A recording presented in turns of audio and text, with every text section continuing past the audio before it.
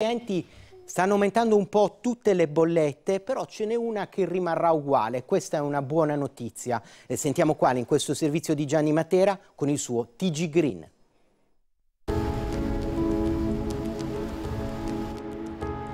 Un'azienda pubblica dai numeri senza eguali, i 33.000 km di reti idriche e fognarie sono solo la parte più appariscente di Acquedotto Pugliese, che gestisce la complessa macchina del servizio idrico integrato in Puglia in 12 comuni della Campania, più di 4 milioni di abitanti serviti. Sul finire di dicembre il Consiglio di amministrazione di AQP ha approvato il piano di sostenibilità 2022-2024. Per Acquedotto Pugliese è fondamentale includere la sostenibilità nel proprio modus operandi. Fondamentale efficientamento della distribuzione e qualità dell'acqua. Siamo la prima eh, azienda del Mezzogiorno ad aver implementato un piano pilota per il piano di sicurezza dell'acqua che diventerà obbligo di legge nei prossimi anni.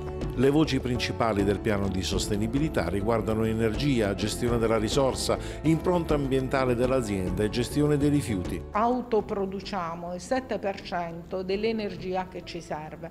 Ovviamente è una eh, percentuale che detta così sembra minima, ma è una rivoluzione se noi pensiamo che fino al 2017 autoproducevamo poco più del 2% dell'energia. AQP è già certificata ISO 5000 per l'efficienza energetica. Il piano prevede l'attivazione di nuove centrali idroelettriche, l'aumento dell'utilizzo di energia solare e della produzione di biogas negli impianti di depurazione. Nel giro dei prossimi due anni 34 gli impianti di depurazione che saranno dotati di questa tecnologia ed è uno dei temi che candideremo per esempio per il piano nazionale di ripresa e resilienza. Digitalizzazione e intelligenza artificiale sono al centro di un progetto pilota per la migliore gestione della risorsa idrica. Si lavora alla riduzione dei fanghi di depurazione, smaltiti sono una voce di spesa, nell'economia circolare diventano risorsa. Nel 2022 la tariffa per gli utenti pugliesi, la tariffa del servizio idrico integrato non aumenterà,